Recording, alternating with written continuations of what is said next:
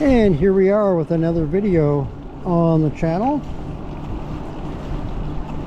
This time around I want to talk about something I recently did a video on but I have more information now and that is a brand new bike that has been released by Ride One Up. It's a new model and uh, they were hinting at it, teasing with it, but now they have it available for pre-orders. So I'm going to talk a little bit, about some of the specs on it. I'm not going to give all the specs because there's a lot of specs. They, they really tell you a lot of details on the bike if you go to their website. So if you want to go to their website, you can check out more. But I'm going to give you some of the some of the things that uh, kind of highlight some of the things that uh, kind of stand out to me on the bike. So it's called, first of all, the bike is called the Revv 1. So it's Revv R-E-V-V 1. And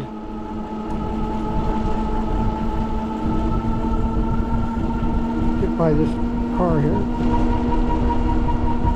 And there's two versions of the bike. So you have a choice of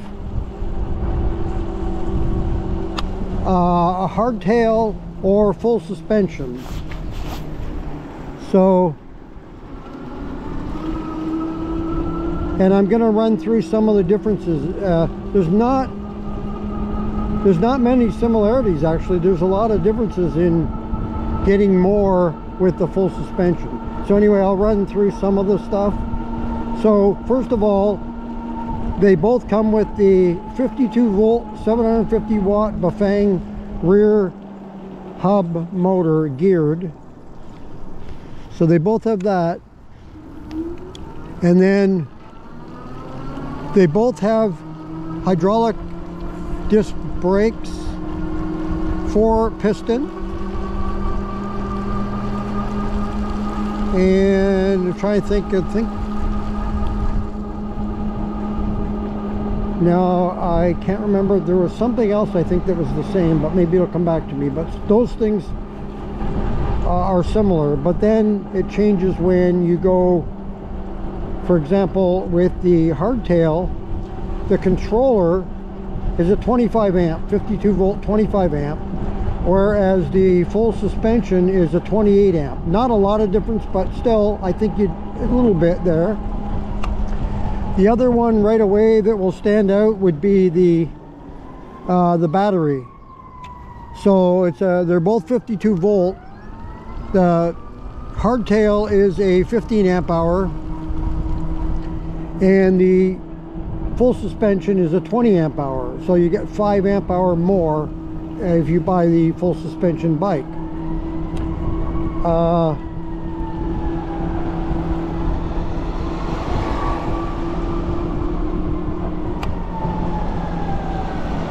So it's dependent on what you want to do. If you want to pay a little more, I'll get to the price coming up.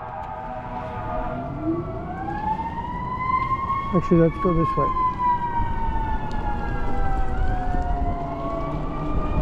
So the bike, I should mention too, I know what else came to mind now, what they both have. They both have headlight, tail light, brake lights, and signal lights on these uh, both bikes. They both come with fenders, front and rear fender. They're very sharp looking. If you uh, go to their website and take a peek, these are really cool looking bikes. I like I like the look of it. Uh,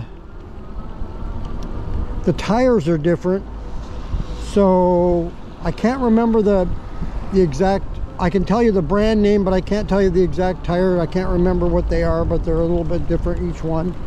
And uh, so the uh, hardtail are Kenda tires, and the full suspension are CST tires. They're both 20 inch by 4 fat tire.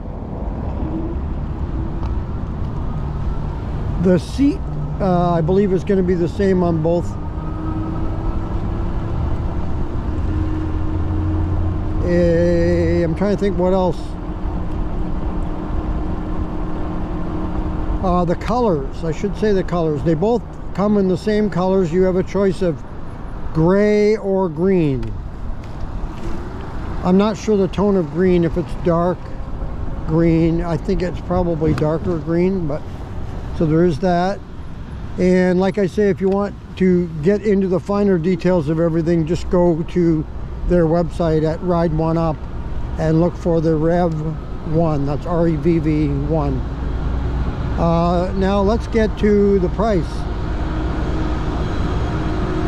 So, oh, I should say first off, shipping is free in the 48 states except Hawaii and Alaska. You might want to check those.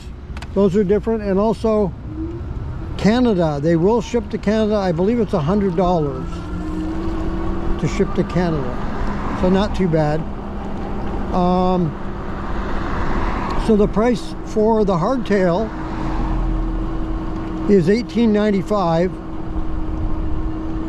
and the price for the full suspension is $23.95 so so personally I think the $500 is worth it um, to get full suspension a little more battery a little bit more controller.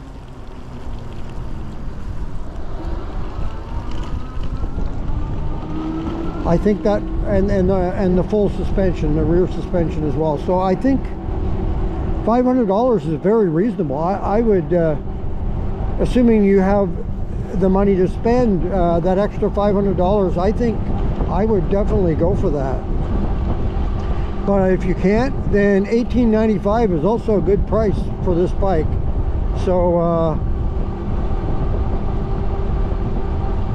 I definitely re recommend checking it out at Ride One Up uh, website. Um, these are, like I say, they're really cool looking.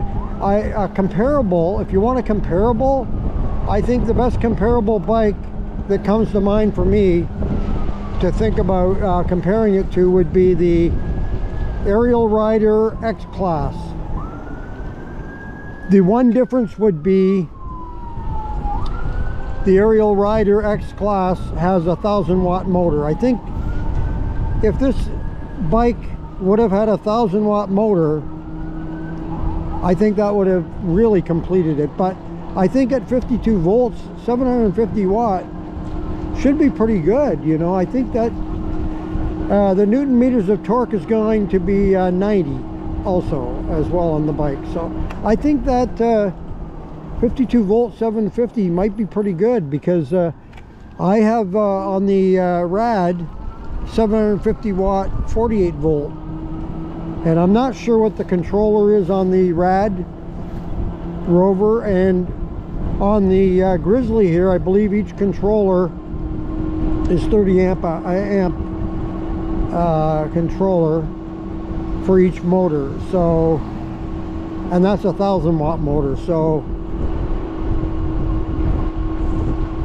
I think for um, what's out there today I think that bike is right in line with the cost. I think that's a pretty good a pretty good price there. It fits right in line. They're not overcharging you know uh, I, in my opinion compared to what else is out there uh, so you might want to take a look at this uh, this uh, Revv 1 from Ride One Up. It might uh, pique your interest if you're looking for a bike.